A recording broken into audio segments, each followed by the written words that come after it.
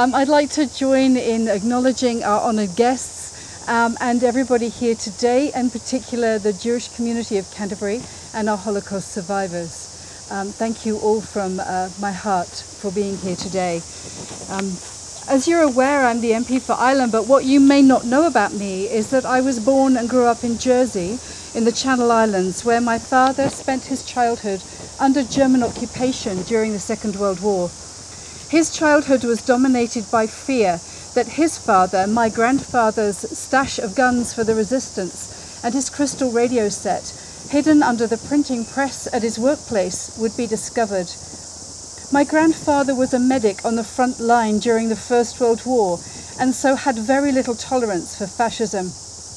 His acts of courage and rebellion in wartime put him and his fam family at risk of deportation or death. On this day since 2015, in addition to honouring the hundreds of European Jews who were taken to the labour camp in Alderney, another of the Channel Islands, my homeland of Jersey remembers the 22 non-Jewish resistance fighters who were deported from the island and murdered during the occupation. If we fail to learn and remember the lessons of history, we know we are at risk of repeating them.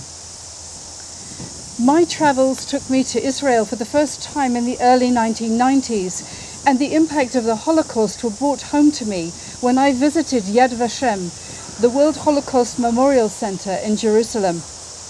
As long as I live, I will never forget that visit, but in particular, the, the Children's Memorial, which at the time was a simple glass walkway with a single flickering candle reflected by mirrors into infinity surrounding me and as I walked, the names of each of the one million murdered children was read aloud. It took months just to read each name aloud, just once. Months. It is almost beyond our comprehension, and yet we need to try to work to understand and to remember.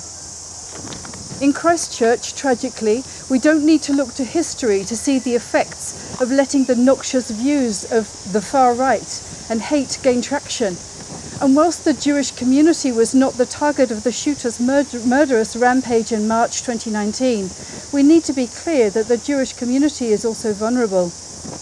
When we saw a milk worker drawing swastikas on his overalls two days following the attack, this was made clear. And it's not, as he argued, a joke.